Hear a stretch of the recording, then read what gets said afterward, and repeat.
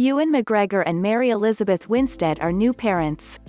The couple, who co-starred in 2020's Birds of Prey, welcomed their first child together, according to the newborn boy's older sisters.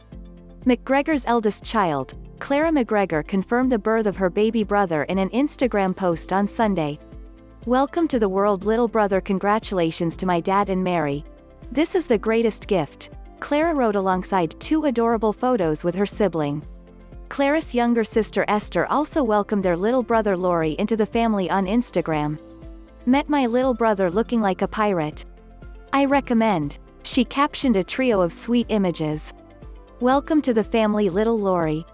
Before welcoming her newborn, the Kate actress did not publicly share the news of her pregnancy and was not photographed with her baby bump. The Halston actor is also dad to two other children, Jamyan and Anouk from his previous marriage to Eve Mavrakis, whom he divorced after 22 years of marriage. McGregor and Winstead met on the set of the TV series Fargo in late 2016. In May 2017, Winstead split from her husband, Riley Stearns, after seven years of marriage. That fall, she and McGregor were seen kissing during an outing together. Months later, the Obi-Wan Kenobi star filed for divorce from Mavrakis in January 2018, citing irreconcilable differences as the reason for their separation. And in November 2019, McGregor asked a judge to declare him and Mavrakis single before finalizing their divorce.